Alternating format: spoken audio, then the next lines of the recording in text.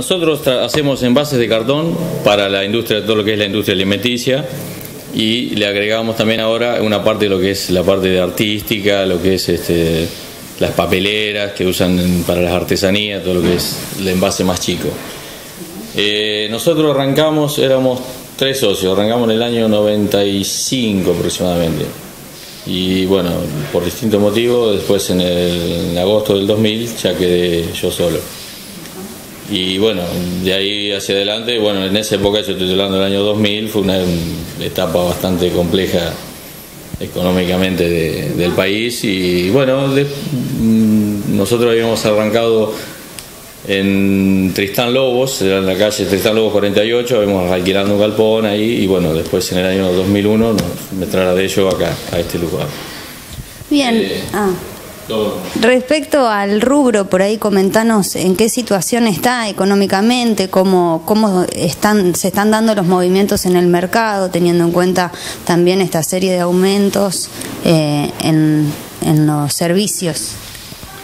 Mira, con respecto a, sí, a, la, problemática de lo que fue las tarifas, lo que es energía luz no ha sido un aumento considerablemente importante, sino más o menos anduvo en el 50% aproximadamente de lo que era la facturación anterior.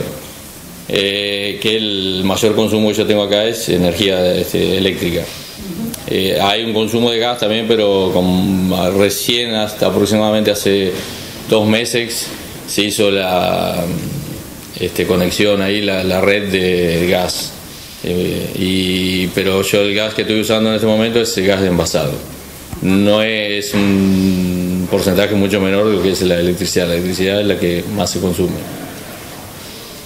Y en el, y en el mercado, si, si tuvieras que hacer una mirada, digamos, un poco más desde arriba, sobre la situación del mercado de, los envases que ustedes distribuyen? Mira, yo este, mm, te digo que tenía temor eh, de, cuando estos cambios que por ahí se venían, de que por ahí este, que me iba a este, mermar la demanda de envases, pero no ha sido así hasta el momento. O sea, um, tuve un movimiento, no digamos que es una demanda alocada, pero todo lo que estoy fabricando, el, mercado se lo lleva.